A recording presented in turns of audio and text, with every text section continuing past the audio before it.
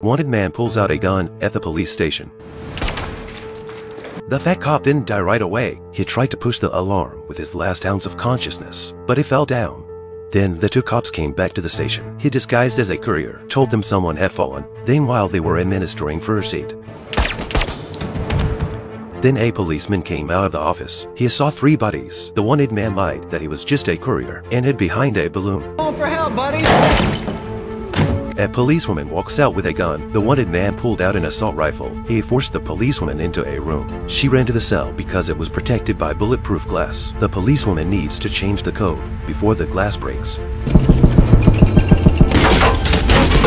The wanted man punched a lot of holes in the glass. He kicked the glass just as he's about to shoot, but out of bullets. The policewoman fired immediately and jumped into the cell. The wanted man loaded his gun. He put a bulge in the door. She saw she's been shot in the stomach.